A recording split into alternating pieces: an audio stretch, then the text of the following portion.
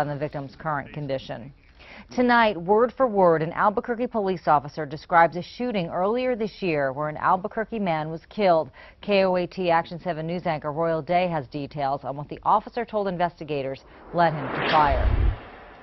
Last March, Alfred Redwine was shot and killed by APD officer James Eichel near 60th and Central. Eichel and several officers were called there after a report an armed man was threatening people.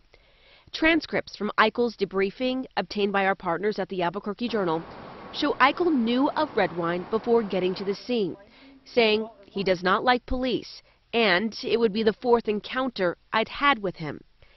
Eichel said Redwine appeared suicidal when he got there.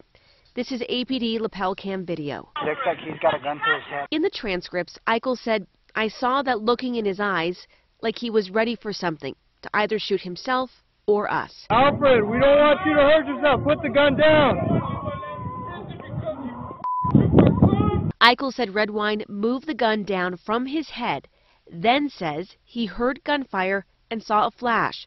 So Eichel fired back, saying, I thought he was shooting at us. I reacted and fired twice. It's still not clear if Redwine shot at officers or into the ground.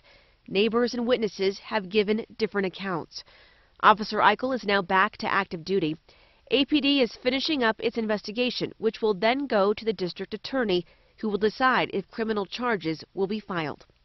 Royale Da, KOAT, Action 7 News. An autopsy shows Redwine was shot three times in the chest, stomach, and lower body. No drugs were found in Redwine's body. A toxicology report showed he had more than three times the legal limit of alcohol in his system. Another New Mexico Police Department